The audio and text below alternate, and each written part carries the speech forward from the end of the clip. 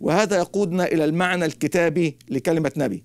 كان المفهوم السائد في القديم عن النبي أنه الإنسان الذي له الحق أن يتكلم بلسان الله الله يضع الكلام في فم النبي ويعلم النبي ما يتكلم به. وبنشوف الكلام ده مع موسى في خروج 4 12 فالآن اذهب وأنا أكون مع فمك وأعلمك ما تتكلم به. وهنا النبي الحقيقي مش بيسيب رسالته لأهواء الله الحقيقي مش بيسيب رسالته لأهواء النبي وشهوات النبي أو أغراض النبي أو ضعفات النبي.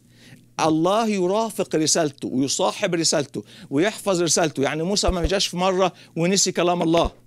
لأن الله مع الكلام أكون مع فمك وأعلمك ما تتكلم به. وده النبي الحقيقي. النبي يتكلم نيابة عن الله بسلطان الله. فهنا النبي كمان مش بيتكلم عن أحداث رد فعل.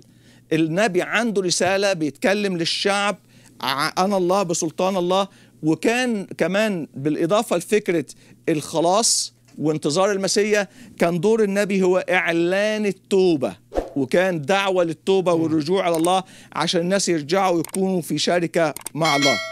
دور الن... الله دوره مش بينتهي عند حد وضع الكلام في فم النبي لكن الله بيضمن توصيل الرسالة لشعبه. وإلا ما يبقاش النبي ده مش نبي لله الحقيقي.